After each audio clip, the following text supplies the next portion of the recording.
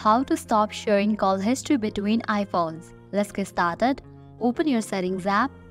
At the very top, you'll find your Apple ID. Tap on it. Now head towards the option of iCloud. Now over here, you will find different sections. Under apps using iCloud, you can find the option of show all. Tap on it. Now head towards the option of contacts. You have to toggle off for this option. Turn off contacts. What would you like to do the previously synced iCloud contacts on your iPhone? You can select the option of keep on my iPhone or delete from my iPhone.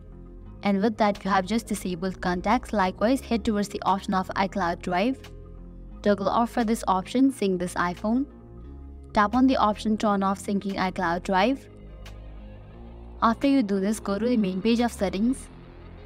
Now scroll down and head towards the option of general. Now go to the option AirPlay and handoff.